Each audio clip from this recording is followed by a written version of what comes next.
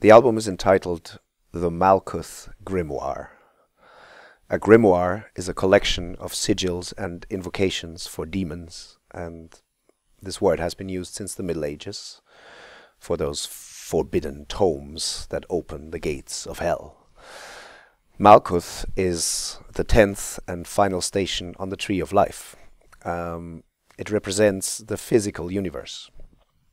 Uh, and the idea behind this title is that our physical world, the world in which we live, is complex and mysterious and mystical enough to contain all the magic you need.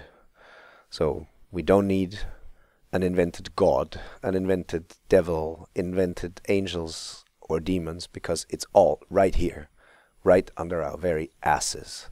And this is a beautiful idea because it makes so many bullshit ideas about the world and the universe completely superfluous. So this is our offering, the Malkuth Grimoire.